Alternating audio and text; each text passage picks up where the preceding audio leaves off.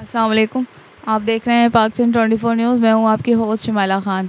सांगड़ से रिपोर्ट कर रहे हैं राना शुजात अली। सांगड़ मंगली थाना के हेड महर शहीद अली मोहम्मद ख़ास अली की नमाज़ जनाजा पुलिस लाइन सांगड़ में अदा की गई। नमाज़ जनाजा में S S P Sanghar, Bashir Ahmed Barohi समेत तमाम डी एस पी साहिबान ओ साहिबान, समाजी शख्सियात और सहाफ़ियों समेत पुलिस के जवानों ने बड़ी तादाद में शिरकत की। इस मौके पर एसएसपी सांगर बशीर ब्रोई ने मीडिया से बात करते हुए कहा कि हेड कांस्टेबल अली मोहम्मद खास अली को ड्यूटी के फ़रज़ अंजाम देते हुए शहादत नसीब हुई, जो कि बहादुरी और शुजात की मिसाल है। खुदा शहीद के दर्जात बुलंद करे, जबकि पुलिस शहीदा के वर्षा की हर मुमकिन मदद करेगी। उन्होंने इस मौके पर ऐलान करते हुए कहा कि शहीद हेड कांस्टेबल मोहम्मद अली खास खली की औलाद के लिए दो नौकरियाँ, एक करोड़ रुपए और बच्चों की तालीम के लिए स्कॉलरशिप दी जाएगी। तो शहीद की जो मौत है कौम की हयात अली मोहम्मद खास के लिए एक बेहतरीन ऑफिसर के भी क्या कहेंगे सिलसिले?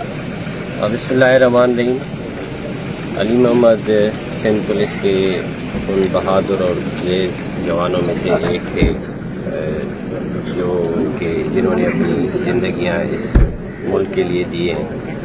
किसी भी पुलिस ऑफिसर के लिए सबसे बड़ा काम है, वो यही होता है कि वो अपनी ज़िंदगी दे सकता है। सिंध पुलिस ने हमेशा कुर्बानियाँ दी हैं और अली मोहम्मद ने भी साबित किया कि सांगड़ पुलिस भी इस चीज़ में हमेशा आगे रहेगी। जराइम पेशा अफराद और दहशत गर्दी के ख़िलाफ़ हमारी जंग बड़े अरसे से जारी है और ये हमेशा जारी रहेगी। जब हम ये वर्दी पहनते हैं तो इस सोच के साथ पहनते हैं कि हमें कभी भी अपनी ज़िंदगी देनी पड़ी तो हम ज़िंदगी देंगे। और ये एक जंग है जो जारी रहेगी जराइम पेशा अफराद के ख़िलाफ़। और सिंध पुलिस कभी भी इस जंग में पीछे नहीं रहेगी। अच्छा सर कच्चे जिस तरह कच्चे में क्या पुलिस को पैगाम देना चाहेंगे? उन नौजवानों को। ज़ाहिर बात है पुलिस हमेशा फ़र्स्ट सिप पर खड़ी नज़र आती है।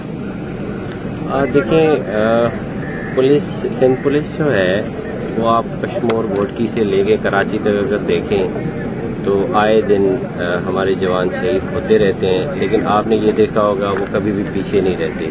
वो दिलेरी के साथ बहादुरी के साथ लड़ते रहते हैं।